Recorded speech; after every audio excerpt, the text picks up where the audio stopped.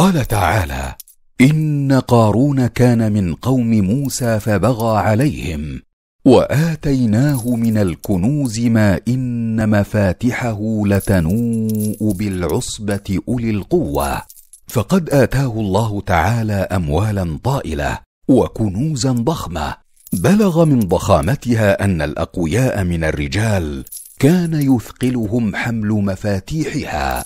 ولكن عدو الله بغى وتجبر وخرج عن طاعة موسى عليه السلام فقال له بعض قرابته ناصحين له محذرين لا تفرح إن الله لا يحب الفرحين وابتغ فيما آتاك الله الدار الآخرة.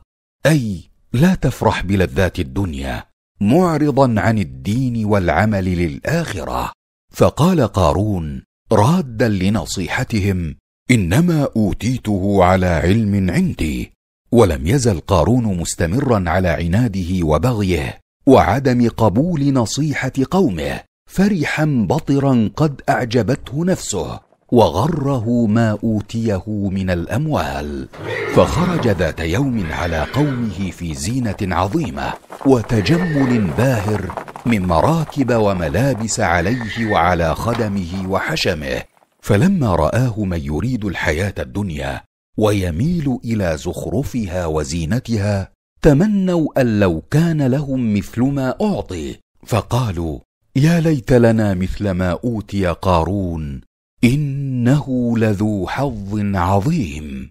فلما سمع مقالتهم أهل العلم النافع قالوا لهم ويلكم ثواب الله خير لمن آمن وعمل صالحا ولا يلقاها إلا الصابرون. ولما انتهت بقارون حالة البغي والفخر وزينت الدنيا عنده وكثر بها إعجابه بغته العذاب فخسف الله به وبداره الأرض جزاء من جنس عمله فكما رفع نفسه على عباد الله. أنزله الله تعالى أسفل سافلين هو وما اغتر به من داره وأثاثه ومتاعه فما نصر ولا انتصر وأصبح الذين تمنوا مكانه بالأمس يقولون ويكأن الله يبسط الرزق لمن يشاء من عباده ويقدر لولا امن الله علينا لخسف بنا ويكانه لا يفلح الكافرون.